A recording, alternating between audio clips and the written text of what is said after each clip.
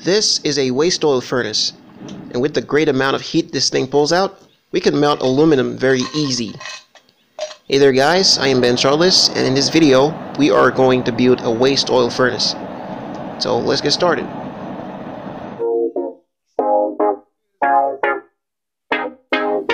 Welcome to Blink Site!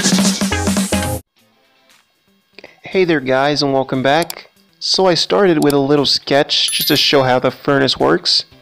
And then I found a paint can laying around and I thought, yeah, it'll be the, a perfect housing for the project. And so I filled a little portion of the can with clay and compressed it. And then I inserted the oil carrier and marked out some holes for the pump and the oil feeder. And then I inserted the oil feeder pipe and the pump as well. And then I covered the walls of the container with clay.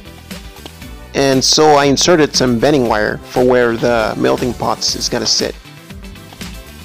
And then I made a hole in the center of the container cover.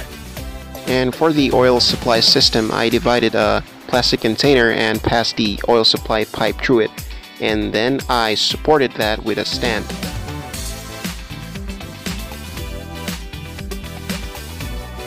And then I inserted the whole thing back into the furnace. Then I poured in the oil into the oil supply and fired up the furnace. And by adding some paper, we can quickly fire it up. And just like that, we have a furnace that is ready for melting and so I added up some aluminum heatsink to the melting pot and covered up the furnace. And when the metal had melted, I took it out and poured it into a circle container. And so guys, that's how you build a furnace. Thanks for watching the video, and stay creative, subscribe to the channel, and see you guys in the next video.